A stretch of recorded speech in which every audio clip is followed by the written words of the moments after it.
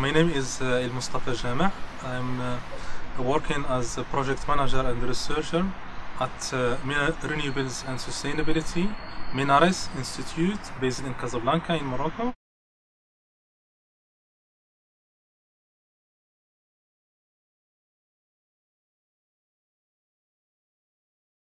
First of all, there is a rise in demand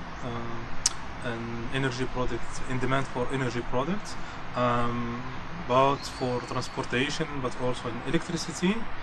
And uh, Morocco is still um, dependent on uh, import, so almost 95% of uh, the energy consumed in Morocco is imported from uh, uh, foreign markets.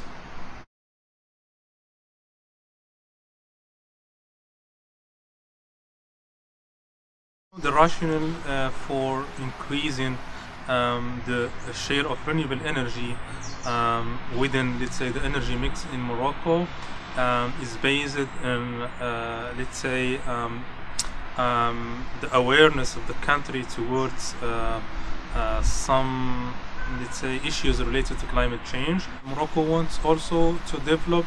uh, let's say, a national uh, renewable energy um, that would create jobs uh, that would also enhance uh, or contribute in technology transfer, um, create an industry, uh, um, yeah, local industry that would supply, um, let's say, about uh, the projects uh, being implemented or that will be implemented in future in the Morocco.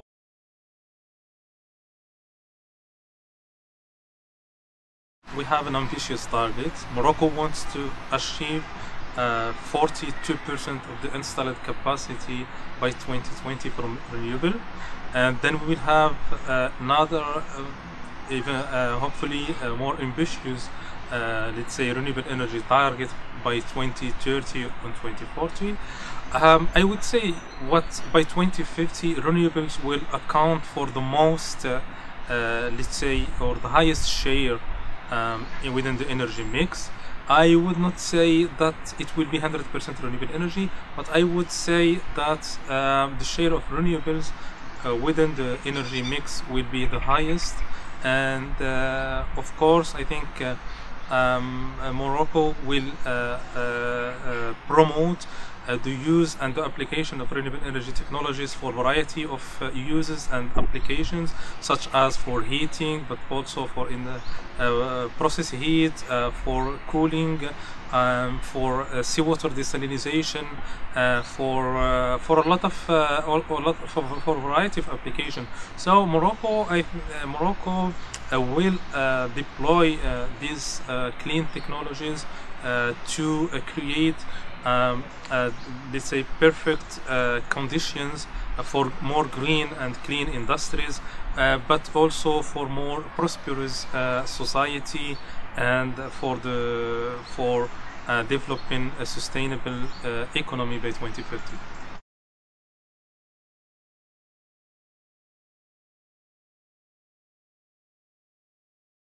Germany uh, has developed already its own, let's say, renewable energy model, and Germany could absolutely um, transfer the, its, its this technology, um, also knowledge uh, related to renewable energy to Morocco and about countries. You know, Morocco is endowed with abundant renewable energy resources. So um, I would say um, uh, Germany and Morocco have the potential to develop a win-win partnership in renewable energy, and both countries could both uh, work in developing renewable energy in Morocco and sharing, uh, let's say, um,